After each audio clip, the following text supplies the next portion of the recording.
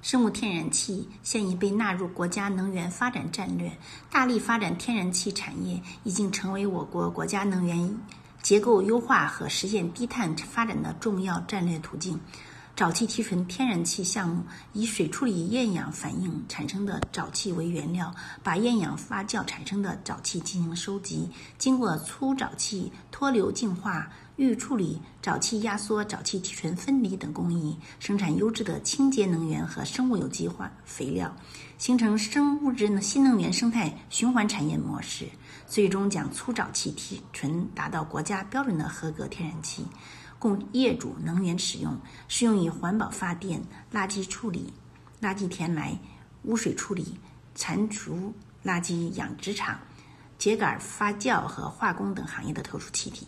迪尔空分作为一个气体分离专业厂家，积极进行产业结构转型升级，利用自身气体分离行业丰富的经验和制造实力，开展沼气提纯系统的工艺研究和设备制造工艺研究。所研发的沼气提纯工艺符合国家产业发展策略，